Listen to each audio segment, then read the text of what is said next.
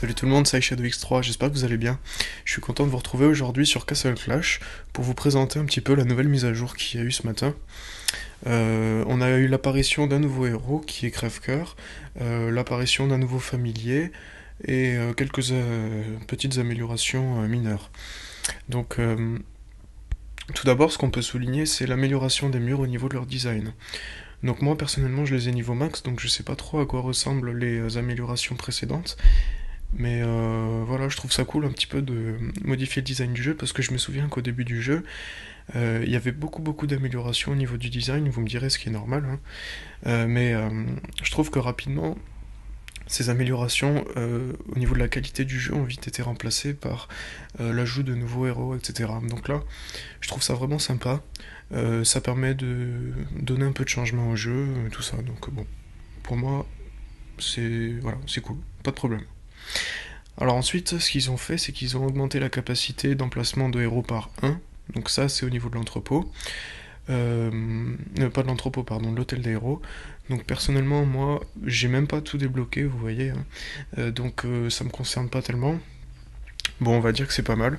mais bon, je pense que quand même ça reste des, euh, améliorations tournées vers les plus gros joueurs parce que euh, bon pour les joueurs euh, qui débutent je pense qu'ils sont pas utilisés tous les emplacements de toute manière donc bon ça leur apporte pas grand chose mais voilà c'est cool pour les gros joueurs qui vont bientôt du coup pouvoir prendre en puissance et atteindre le dernier stade en titre. Je crois que c'est au niveau de la puissance euh, c'est souverain, voilà. Il euh, y en a un dans le classement qui est prêt d'être euh, souverain, donc bon, ben voilà, ça va leur permettre de se rapprocher. Le fait de pouvoir avoir un héros supplémentaire dans l'hôtel des héros.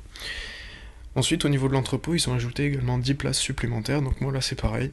Personnellement, ça m'est pas utile, puisque comme vous pouvez le voir, j'ai encore de la place. J'ai même pas encore débloqué d'autres emplacements, donc bon, encore une fois, je pense que c'est un petit peu des améliorations tournées vers les gros joueurs. Hein. Mais bon, c'est pas vraiment le sujet de la vidéo. Voilà, donc ça c'est des petites améliorations mineures. Ensuite, on a euh, l'ajout d'un nouveau familier qui est... Euh, alors attendez, pardon. Qui est donc euh, Auroria. donc bon, pourquoi pas. Personnellement, moi je suis pas super fan des familiers. C'est bien, ça apporte un petit truc, mais bon. C'est pas... Voilà, pour moi c'est c'est pas l'essentiel. Euh, on va quand même regarder ce qu'il fait, donc à 50% de chance d'infliger 240% de dégâts d'attaque de familier à deux ennemis proches au hasard et les étourdit pendant une seconde quand son héros est attaqué. Donc euh, ouais, pourquoi pas. C'est là en fait ce qui est bien, c'est qu'il interdit donc il euh, pardon, il fait un étourdissement au héros. Donc pourquoi pas ça peut être pas mal. Il peut être placé au niveau d'une arène, par exemple, ça peut être sympa à utiliser. Euh, bon, j'ai pas grand chose d'autre à dire sur ce point-là, parce que personnellement, je suis pas tellement tourné vers euh, les familiers. Euh, et pour finir, donc, je vais vous parler donc du nouveau héros, Crève-Cœur, juste ici. donc, au niveau de ses stats, déjà premièrement, on voit qu'elle a 5000 d'attaque quasiment et 40 000 de points de vie. Donc euh, bon, au niveau attaque, euh, c'est pas trop mal. On va dire que c'est bien, c'est bien, c'est même pas mal. C'est pas mal du tout. Euh, et au niveau des points de vie, par contre, c'est pas énorme, c'est moyen, on va dire. Donc euh, c'est pas un héros qui fait une énorme différence au niveau de ses points de vie. Les points d'attaque sont pas trop mal. Et on va voir donc euh, maintenant son pouvoir un petit peu. Pour voir par rapport à ses stats comment on peut, euh, comment on peut trouver une utilité à ce héros.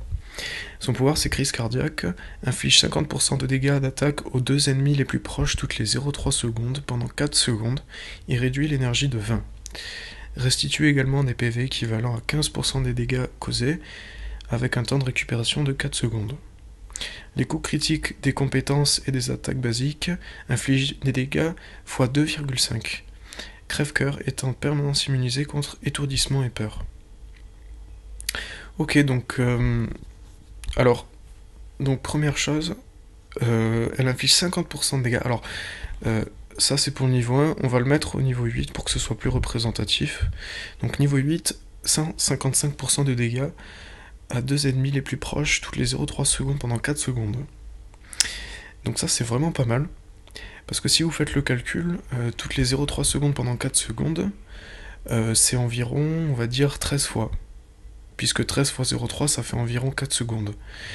Donc ça veut dire que 13 fois elle va infliger 155% de dégâts par rapport à son attaque. Et comme on a vu précédemment, son attaque est pas trop mal. Ce qui fait que c'est vraiment, euh, vraiment beaucoup en fait. Donc 13 fois 155% de 4687 de dégâts par rapport à ce niveau-là. Euh, sur deux héros, c'est vraiment pas mal du tout. Donc je pense que déjà elle va avoir une première utilité par rapport à l'arène.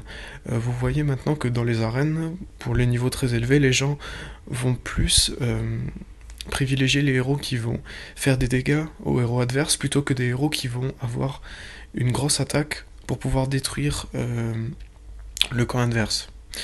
Donc je pense que ce héros va rentrer vraiment, va jouer un rôle très important au niveau de l'arène. Euh, de même, elle réduit l'énergie de 20, donc euh, ok, pourquoi pas, c'est cool. elle restitue également les PV équivalents à 35%, donc comme on a dit, aux dégâts causés. Donc là, ce qui est intéressant à souligner, c'est que la plupart du temps, la restitution des PV par certains héros se fait en fonction de leur attaque, alors que elle, c'est par rapport euh, aux dégâts causés. Donc ça va être par rapport à l'attaque de l'ennemi en fait. Et c'est là que c'est intéressant, c'est que elle va pouvoir avoir une utilité, par exemple, pour des euh, héros adverses qui vont euh, faire beaucoup de dégâts, notamment. je sais pas, par exemple, quand vous faites des combats contre des boss ou contre l'archidémon, des choses comme ça, là elle va avoir son utilité. Donc ça, ça peut être pas mal aussi. C'est pas mal du tout.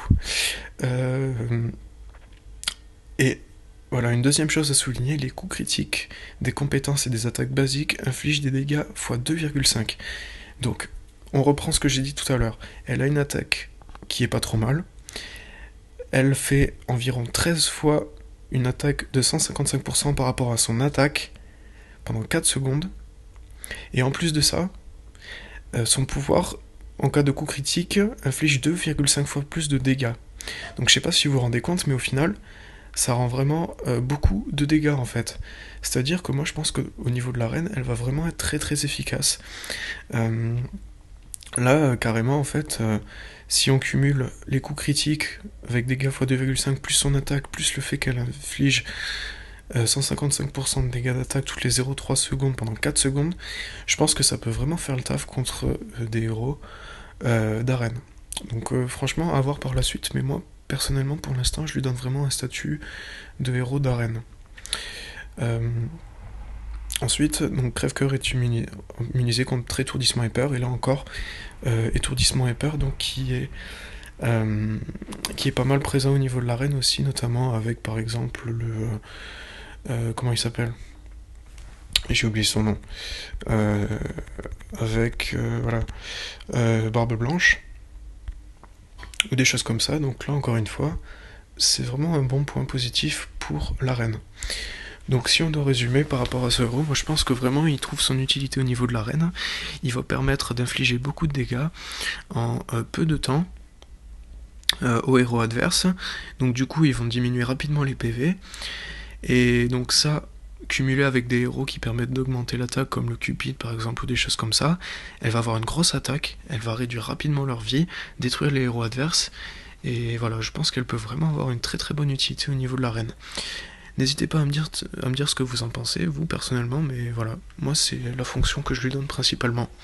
Après, euh, à voir euh, dans euh, d'autres vidéos, on verra bien comment ça se passe. Voilà, donc c'est tout pour cette mise à jour. J'espère que la vidéo vous aura plu. N'hésitez pas à me dire en commentaire ce que vous en avez pensé, ce que vous pensez de la mise à jour de Crève-Cœur. Euh, si vous avez des suggestions de vidéos à me faire, etc., n'hésitez pas. je regarderai et je commenterai avec plaisir. Voilà, donc sur ce, je vous laisse et je vous dis à une prochaine. Tchuss